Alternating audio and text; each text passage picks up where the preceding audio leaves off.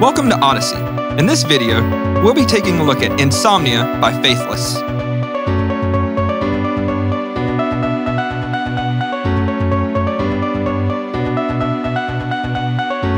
Let's take a look at the chord progression. The loop ends on the sixth chord.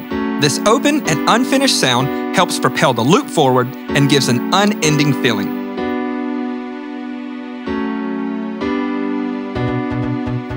The trance-like bass pattern involves a combination of 16th notes and 16th note rests. Notice we get a short break from the fast 16th note rhythm on the fourth beat of each measure. This short break helps to clear space for other elements to shine through. Also, a constant barrage of quick moving notes can be tiring to the listener.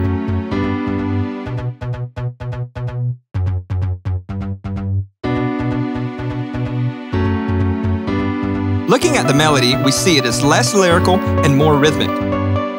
This is evident by the shortness of the notes, as well as the fact that the melody is not played at the downbeats of each measure.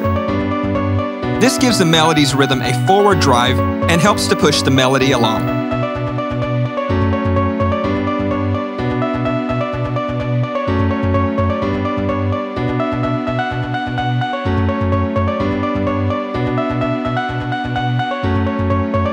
We can hear the melody's rhythm complements the bass rhythm, giving us an interesting interplay between the two parts.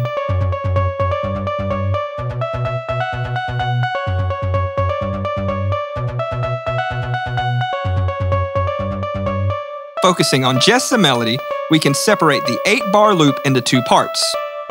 The first four measures contain a stable melody that doesn't venture out of a three-note range. In contrast, the last four measures are more adventurous.